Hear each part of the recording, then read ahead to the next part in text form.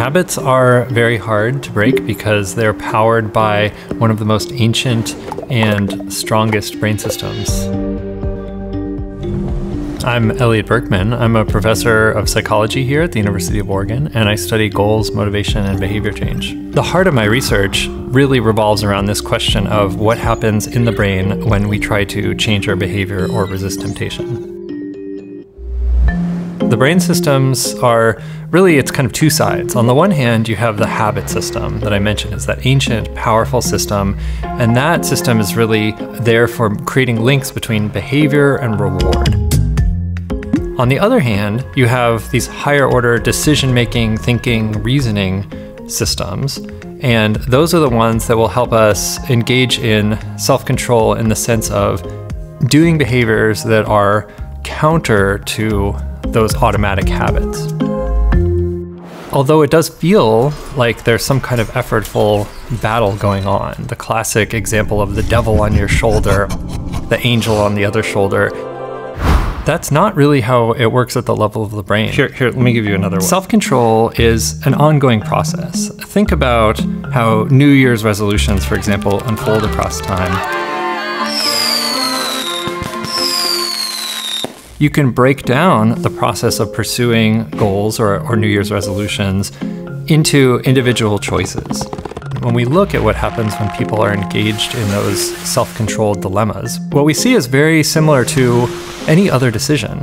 Survey the options, weigh each of the options, and then ultimately simply make a choice.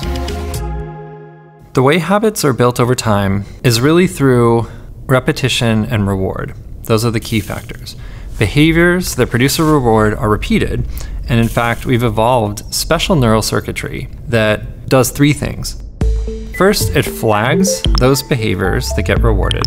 Second, it links them almost literally on a neural level, creates a neural link between the context where the reward occurred and the behavior happened. Third, it primes those behaviors to be repeated when we're in that same context in a way that short circuits our higher order reasoning. The idea is that anytime we're in those contexts, the behavior kicks in or at least becomes more likely to kick in even without us thinking about it. There are always lots of tips and tricks for self control. Some of them that you might have heard are genuine and evidence based. So, one example is think about small steps. You engage in the behavior, you get a reward, and then it becomes more likely to repeat that same behavior.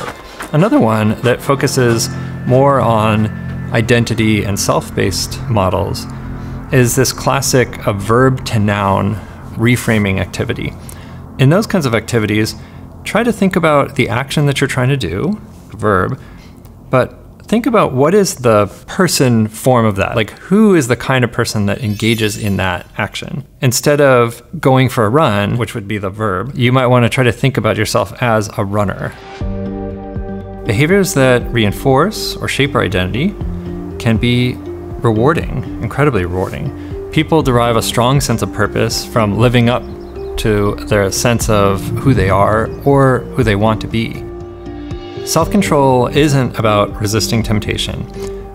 What it is about is making a choice or a series of choices that align with your deepest sense of who you are or who you want to become. Is there anything else I want to say? Yeah, I think that's good.